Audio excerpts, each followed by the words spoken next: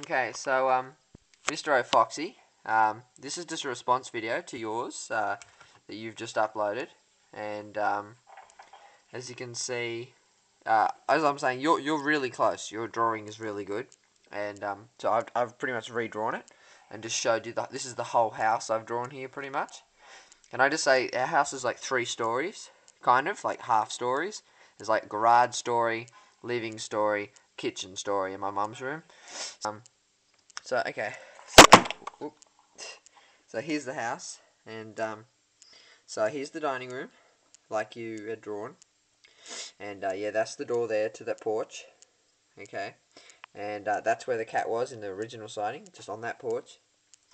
And so as you can see, it comes in a bit here to this window, which is uh, marked just here with these. I'll use a pencil actually with these two, that's a big window.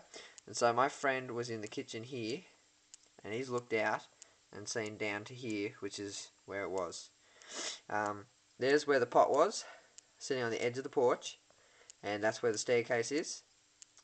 And um, so yeah, when I walked over here, because we heard a noise out kind of down here, now there's a staircase there, which goes to the next level, and here's the front door and uh, my room's here. So in the beginning of the video, I'm running from my room because I had to go get the camera all the way out the hallway to here.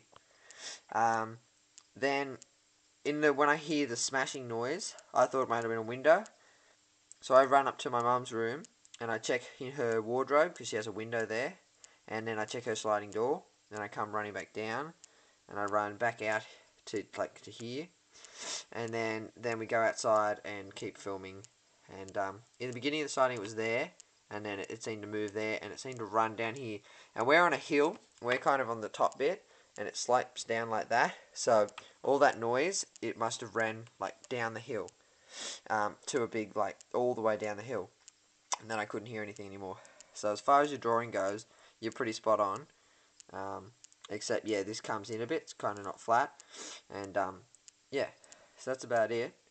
And so yeah, when they were making noise, the front door is here, so that's kind of what I I turned to. And so um, yeah, and uh, yeah, yeah, I don't know about the third or second or whatever, but that's pretty pretty spot on. So um, yeah.